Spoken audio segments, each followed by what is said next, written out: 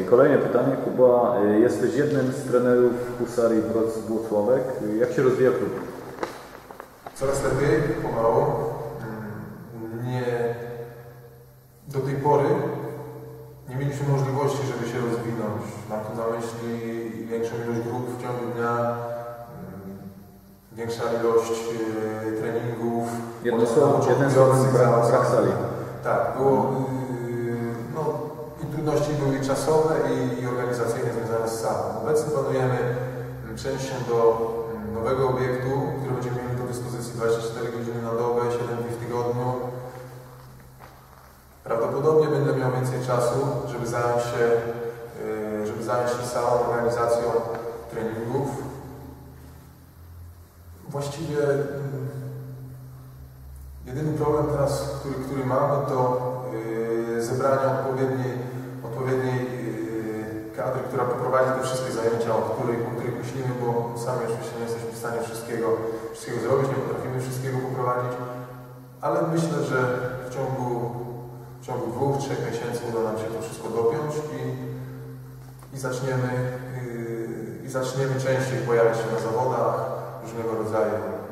Więcej ludzi będzie ćwiczyło nie tylko pod zawody, ale, ale i rekreacyjnie, bo to jest takim naszym jednym z głównych celów, żeby przekonać ludzi, że tak jak można iść sobie pobiegać, nie trzeba startować w maratonach, można iść pograć w kosza, nie trzeba startować w zawodach i tak dalej, i tak dalej. Tak można przyjść, trenować sporty, sztuki walki, tylko po to, żeby, żeby się dobrze bawić, yy, dla zdrowia, dla dobrej zabawy. Tak jak wielu Brazylijczyków, między innymi John, mówi, że ze wszystkich jego uczniów tak naprawdę 30% ludzi myśli o zawodach. Cała reszta to są osoby, które, które, Robią które robią, to, robią to po lubiu. I te osoby tak naprawdę pozwalają klubom utrzymać się. Mhm. Okej. Y, Kuba, powiedz mi, ostatnimi czasy y, Polski Związek Jiu-Jitsu y, i Polski Związek Zapasów właściwie też zaczęli organizować zawody y, brazylijskiego Jiu-Jitsu. Polski Związek Jiu-Jitsu, a Polski Związek Zapasów Grapplingu, ale bardzo po, podobne reguły do brazylijskiego Jiu-Jitsu. Powiedz mi, co sądzisz o zainteresowaniu y, tych dwóch organizacji brazylijskim Jiu-Jitsu? Myślę, że, yy, że to dobre dla rozwoju brazylijskiego jiu-jitsu, jeśli im więcej organizacji będzie chciało się tym zająć. Ja, ja osobiście czekam tylko na to, aż pojawi się organizacja, która to, co robi, nazwie brazylijskie jiu-jitsu. Tak? Bo zapasy robią grappling zapasy, przepisy są troszeczkę zmodyfikowane, są troszkę inne. Jiu-jitsu, Związek Polski Związek Jiu-Jitsu też robi yy, turnieje Nevaza, Mhm. tak? To nie jest, nie, nie jest konkretnie y, to, co tak naprawdę my wszyscy trenujemy.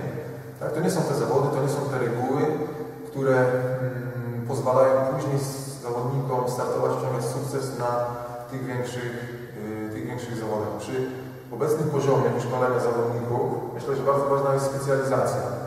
Tak naprawdę mało jest osób, które są, są w stanie wygrywać w różnego rodzaju turniejach. Raczej są to specjaliści, którzy specjalizują się i trenują pod dane przepisy.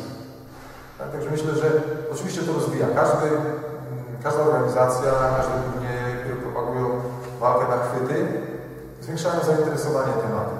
Tak? Podoba mi się też to, że następuje taka wymiana informacji. Dzięki temu, że y, mamy zapasy, mamy jiu-jitsu, mamy judo, mamy sambo, to te wszystkie style na siebie wpływają. Grappling rozwija się, w ogóle samo brazylijskie jiu-jitsu bardzo zmieniło się pod wpływem kontaktu z innymi przedstawicielami chwytanych sportów walki. Więc moim zdaniem yy, same plusy, a tak naprawdę która z tych organizacji zostanie, która się utrzyma, to będzie zależało już od, od rynku, od tego, która najlepiej będzie odpowiadać na zapotrzebowanie, na potrzeby zawodników, ludzi, którzy, którzy chcą ćwiczyć. Ta, ta organizacja, która będzie najwięcej, najwięcej dawać. Mhm. Powiedz mi Kuba, y, jakiś czas temu dostałeś czarny pas od Joe.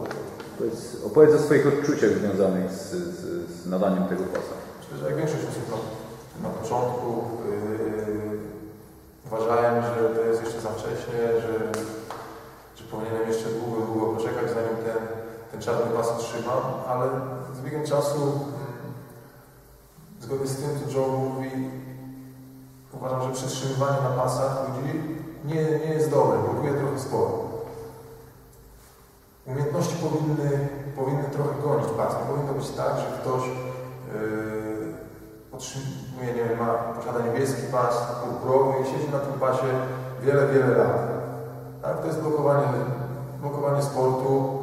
Ta osoba wygrywa na zawodach wielokrotnie, czasem kilka lat z rzędu. Moje osobiste zdanie jest takie, że jeżeli yy, dany chłopak wygrywa duże zawody w swojej kategorii wagowej, w swoim, na swoim poziomie zaawansowania, a następnie powinien już spróbować yy, w kategorii wyżej. Mhm.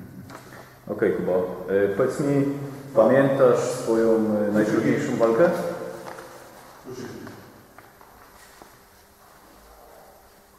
Pamiętasz swoją najtrudniejszą walkę e, w swojej karierze zawodniczej, czy w ogóle karierze z brazylijskiej To, będzie, to była pierwsza walka, którą stoczyłem yy, w ogóle na jakichkolwiek zawodach. Dużo rywalizowałem w szkole średniej, ale to była koszykówka, lekka atletyka. Dopiero po studiach zacząłem yy, startować yy, w zawodach brazylijskiego jiu To był turniej submission, zdaje się, Eskimo. I ta walka była najtrudniejsza, bo wszedłem do niej, tak jakbym obserwował siebie z boku,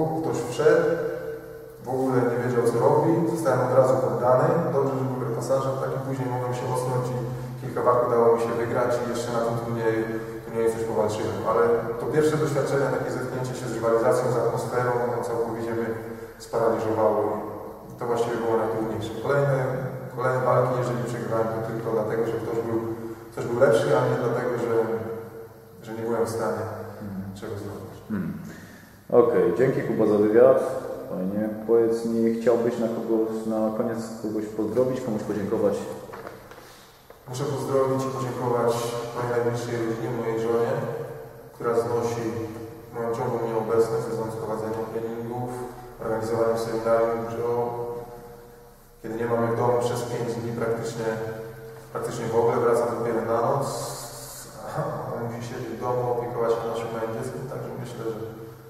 chciałbym podziękować przede wszystkim jej za, za wyrozumiałość, no i Gripniuk za możliwość wypowiedzenia się. Dzięki bardzo Kuba.